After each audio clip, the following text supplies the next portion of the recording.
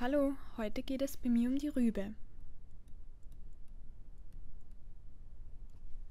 Die Rübe ist eine spezielle Art der Wurzelmetamorphose und es sind immer zwei Pflanzenorgane verdickt.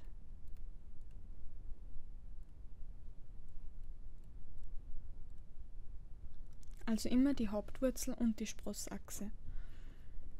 Und von der Rübe gibt es jetzt zwei spezielle Formen. Und zwar erstens die Wurzelrübe.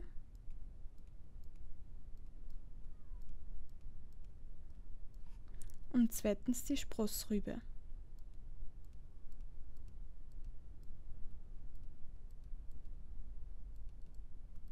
Was unterscheidet die zwei Typen jetzt voneinander?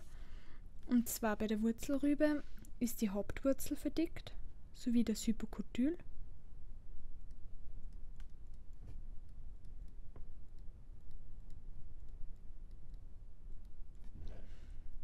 Das kann man vor allem bei der Karotte gut erkennen.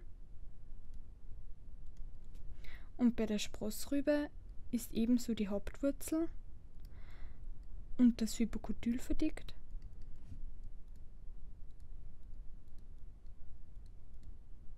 Und zusätzlich noch ein weiterer Abschnitt auf der Sprossachse.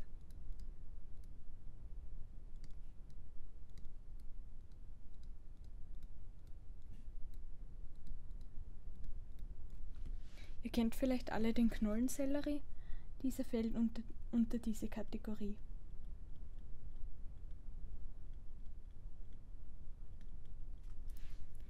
Ich probiere jetzt die Karotte und den Knollensellerie zu zeichnen, damit ihr euch auch etwas darunter vorstellen könnt. Und zwar beginnen, beginnen werde ich mit der Karotte.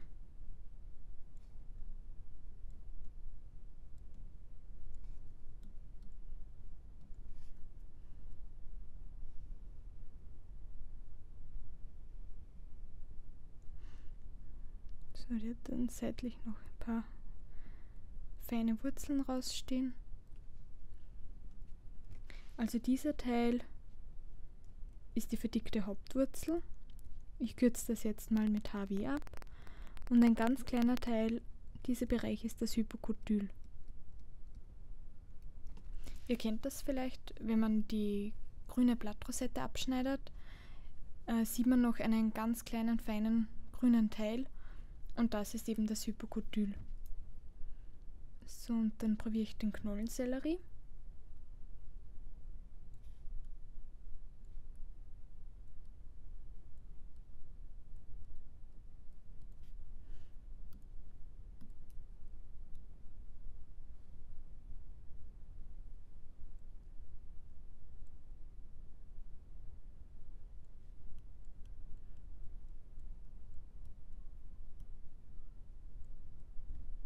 Hat hier auch noch Wurzeln rausstehen im unteren Bereich.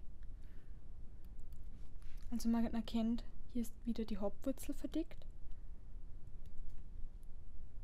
Dann das Hypokotyl. Hoppla.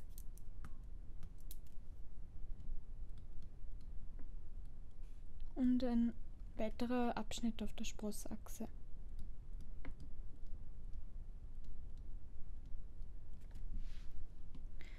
So, das war's jetzt von mir zum Thema Rübe.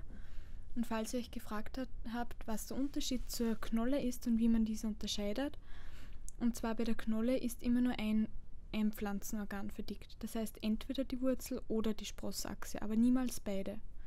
Aber dazu gibt es noch ein extra Video von mir. Tschüss, bis zum nächsten Mal.